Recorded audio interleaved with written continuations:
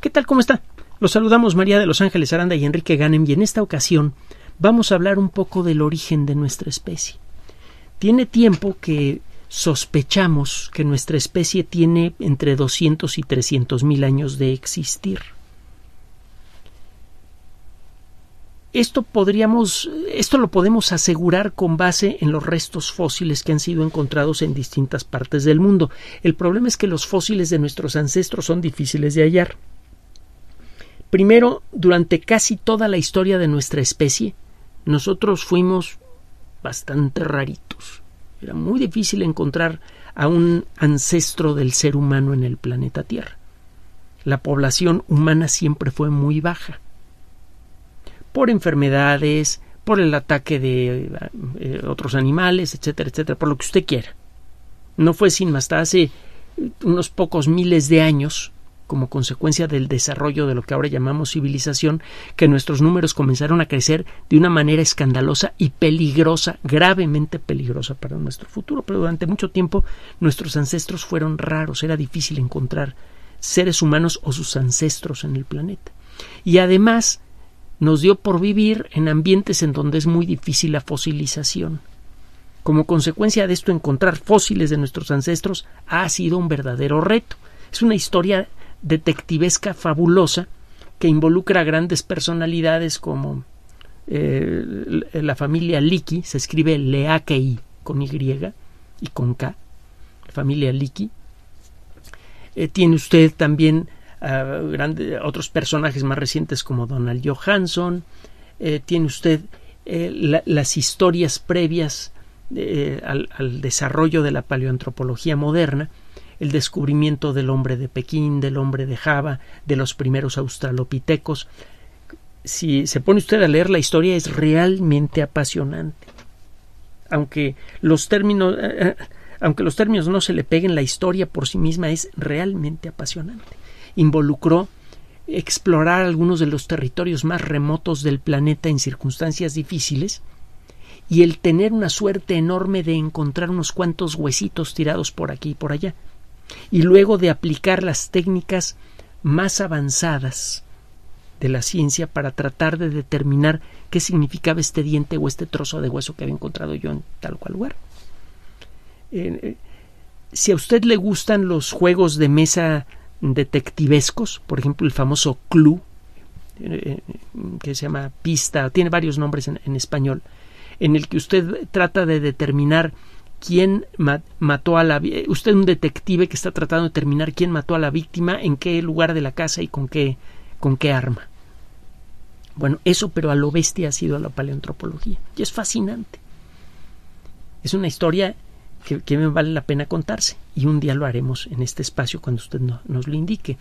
El asunto eh, eh, con esto es que esta historia necesariamente es incompleta porque resulta imposible encontrar una cadena completa de fósiles cuyas edades estén separadas por pocos centenares o miles de años a lo largo de toda la historia evolutiva de nuestra especie.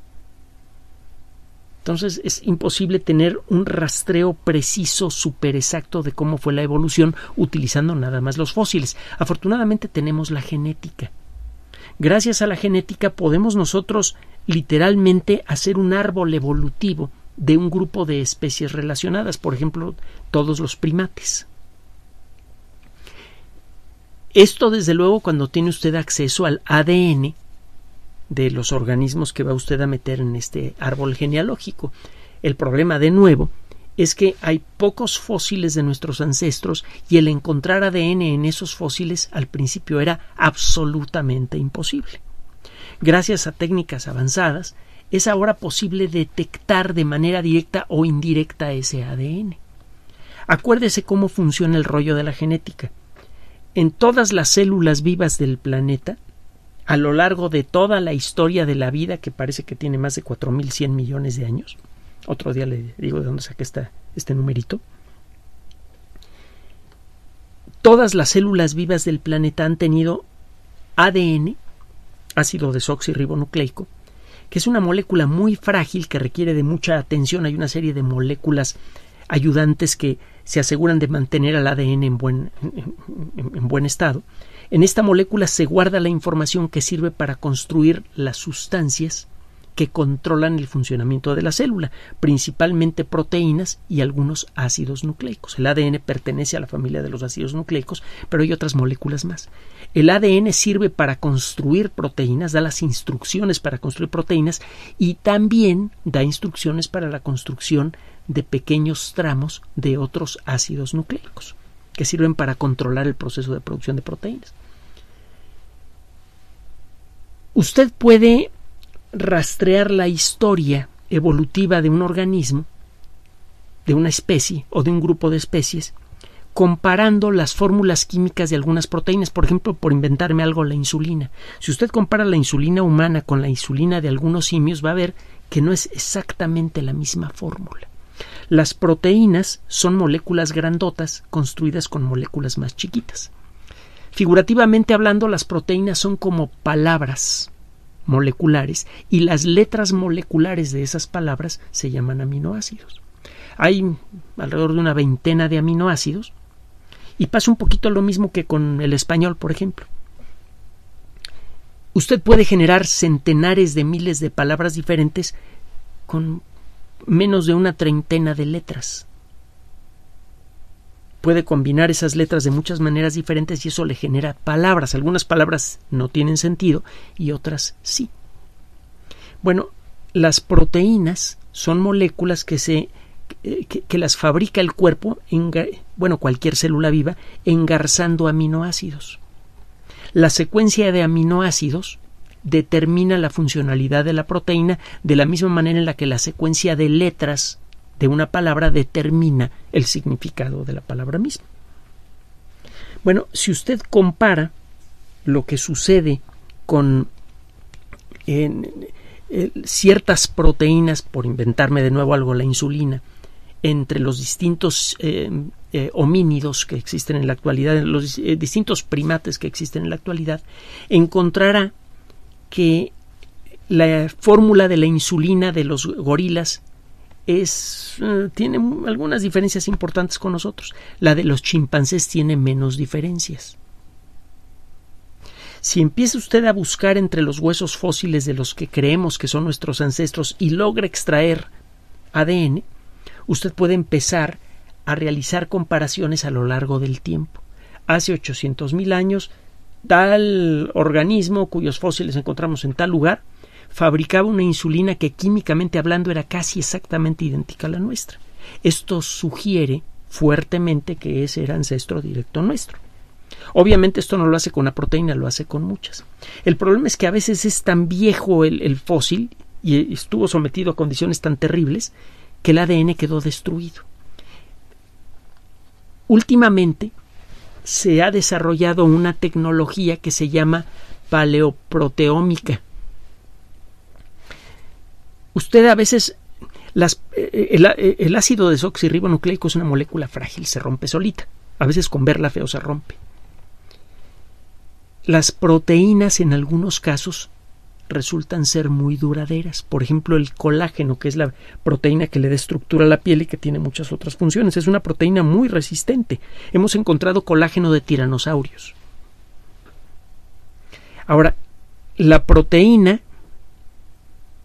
está construida con aminoácidos. Si usted logra encontrar una proteína en un fósil de un ancestro nuestro, todo lo que tiene que hacer es meter esos datos en una computadora y la computadora se encarga de reconstruir cuál sería la secuencia del ADN capaz de generar esa proteína particular. Sabemos cómo se traduce el ADN en proteína y puede usted hacer la traducción al revés.